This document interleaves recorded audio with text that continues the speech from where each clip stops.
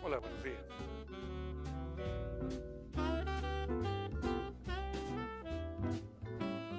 Ya, el conjunto materialista. Bueno, el conjunto materialista eh, en realidad nace por ahí por el año 84, ¿eh? probablemente el 83, como una extensión de la, de la clase de educación de la voz, ¿eh? en la que los alumnos con, digamos, con mayor interés por canto, ah, por el canto coral y por el desarrollo de la voz, eh, estructuramos un equipo primero de, de cuatro personas, partimos cuatro personas, cuatro alumnos, tres alumnos y yo en realidad. Estaba más joven entonces cantaba. entonces, eh, bueno, eh, partió como una extensión y un- una especie de taller de desarrollo vocal. Ciertamente mi intención por el, desarrollo de la voz, por el canto coral que ha sido siempre, eh, encontró efectivamente en este nicho, ¿no es cierto?, una gran posibilidad de abordar un repertorio coral interesante y con alumnos interesados particularmente en esto. Entonces de allí empezamos a abordar eh, música un poquito más especializada, música vocal del Renacimiento. Y bueno, y allí nace, ¿no es cierto? Y de este cuarteto, después se transforma en un octeto, después en 12 personas, que ha sido más o menos el, el número eh, máximo, 12, a lo mejor en algún momento fuimos 14, ¿ah? Eh, o- sí, pero un grupo chico, siempre un, grupo coral eh, muy chiquitito, de tal forma de poder tener más posibilidades de, de- trabajo eh, y de música un poquito más de, eh, delicada, de mayor exigencia. Esa en realidad el- como nace este, este grupo vocal, que ciertamente comienza a desarrollarse todo, durante todo este tiempo. Eso es más o menos la historia.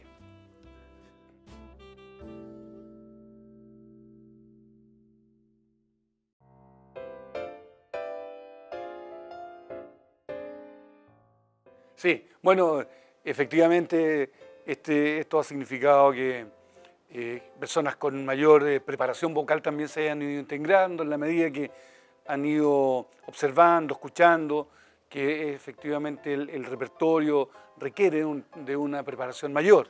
Entonces, ciertamente, eh, esto que empezó con alumnos solamente de la educación de la voz, eh, fue, eh, digamos, haciéndose más conocido e integrándose gente, digamos, no solamente alumnos, sino que cantantes de otras partes. Hoy día, hoy día hay, muchos, hay muchos integrantes que no son efectivamente alumnos.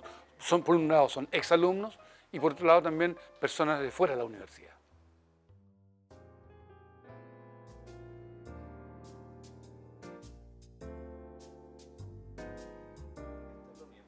Bueno, la verdad es que de partida la música para mí ha sido una, una eh, preocupación de toda la vida. Yo la verdad es que creo que de, siempre, de- en ese tiempo tercera preparatoria, lo que es tercero básico ahora, eh, ya empecé, ¿no es cierto?, a, a- a aprender a tocar guitarra, a cantar, me inicié en la música folclórica, me acuerdo, ¿eh? cantaba, me tocó justamente la, la- la música, el neofolclor, que se llamaba, ¿no es cierto? Entonces ahí empecé a cantar cositas, ¿no es cierto?, de, bueno, de, de Patricio Mans, ¿ah? Eh, otra música un poquito también de, de otros autores conocidos de la época, de Pedro Mesones, ¿no es cierto?, canciones de los cuatro cuartos. Y esto, bueno, ciertamente eh, se fue desarrollando paulatinamente. ¿ah? Después ya integré coros, el coro del liceo, que ocasional de Quilpué. Eh, luego integré, estando en el liceo, integré el coro de la Universidad de Chile, el año 72 entré al coro de la Universidad de Chile. Bueno, y allí comenzó toda mi carrera, ¿no es cierto? Entré a estudiar música y ya siempre en lo vocal. Después integré el grupo vocal de la Universidad Católica, después integré el conjunto de música antigua en la Universidad Católica y, y en todo y en cada uno de ellos en la parte vocal. ¿eh? Así es que esta, esta conexión con la voz, con el canto, ha sido toda la vida. ¿no?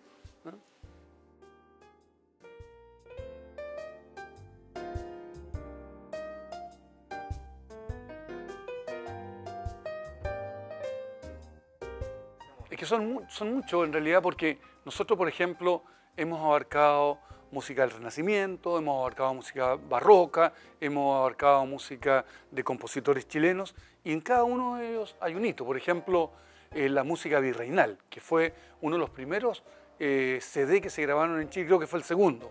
Primero fue el grupo Sintagma y creo que el segundo disco de música de barroco latinoamericano fuimos nosotros. Ese es un granito. ¿eh?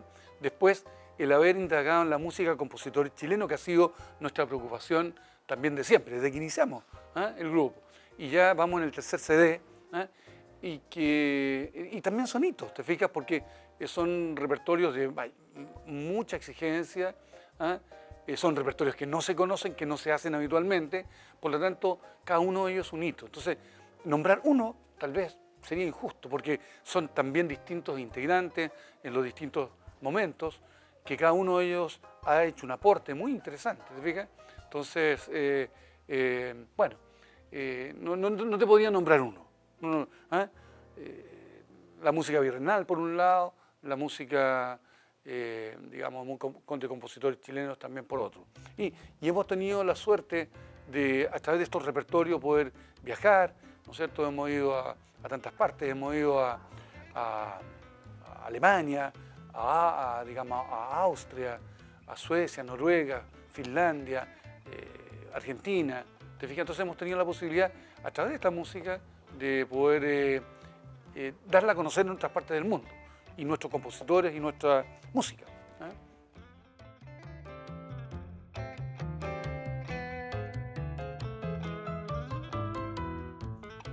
También, bueno, yo eh, en los distintos grupos, ¿no es cierto?, he tenido distintos directores. ¿eh?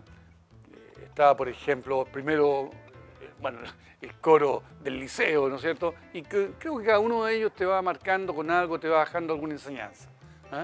Entonces, por ejemplo, en La Molina, en el coro del liceo, después eh, entro al coro de la Universidad de Chile con Marco Duzzi, ¿eh?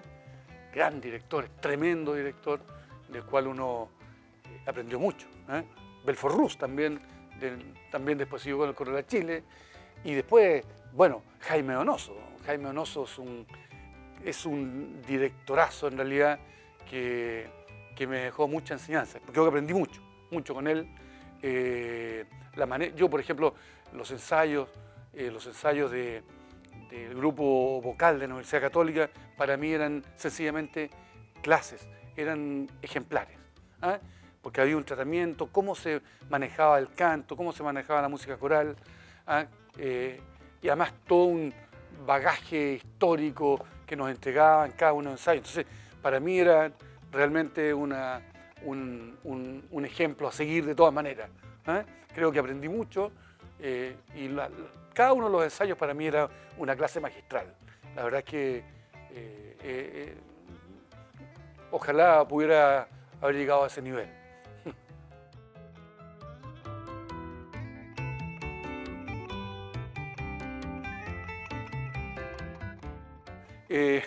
En la música vocal siempre hay mucho interés. Yo creo que la, la música nace desde la música vocal. ¿eh? Hay algo, un instrumento que nosotros todos tenemos que podemos desarrollar y la verdad es que eh, ahí está el, centro, el leitmotiv de la música, ¿eh? el canto. el canto es aquello que genera todo, es nuestro principal instrumento. Así es que quien toca un instrumento, por ejemplo, y tiene incorporado el canto en su cuerpo, va a ser ciertamente un instrumentista ejemplar. ¿eh? Así el canto va a nutrir la interpretación a través de ese instrumento.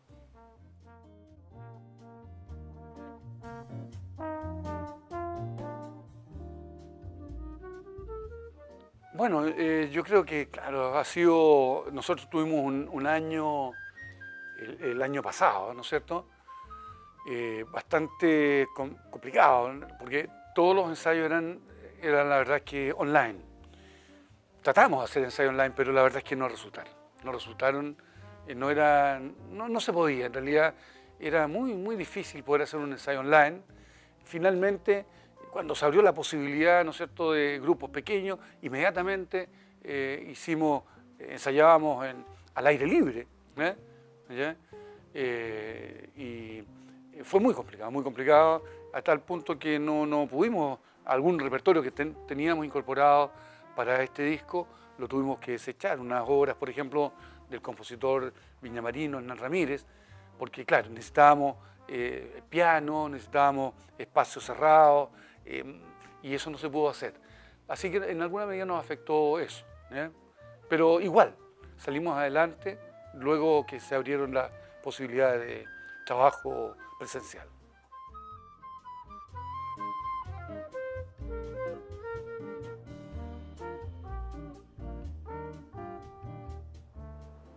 Bueno, yo creo que hemos tenido una muy buena recepción. ¿eh? Siempre eh, hemos tenido muy buenos comentarios y eso nos permite seguir adelante y seguir perfeccionando. Yo creo que eh, en realidad nunca uno está contento efectivamente con todo lo que hace. Siempre hay algo que uno quiere mejorar y qué bueno que sea así. Pero afortunadamente hemos tenido una muy buena recepción en todos lados. ¿no? Hemos ganado, por ejemplo, tres, fondos de, la Irak que nos ha permitido viajar. ¿eh? Entonces, eh, ha tenido algún reconocimiento. ¿eh? Y eso lo digo con, mucho orgullo porque en realidad hemos podido representar a nuestro país fuera. Entonces, la verdad es que hemos tenido buena, buena recepción.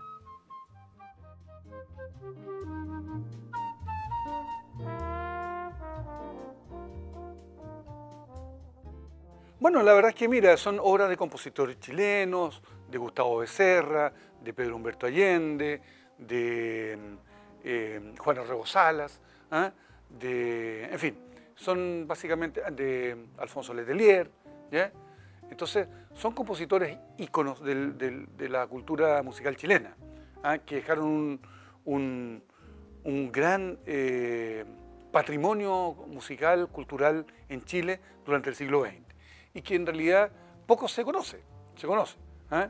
Y, la verdad es que nosotros en ese sentido, a través de este disco, queremos, hemos querido eh, honrar, honrar y rendirle también un, reconocimiento al querer difundir esta música en tantas partes, ¿eh? a, a aquellos compositores. Muchas gracias. Muy bien.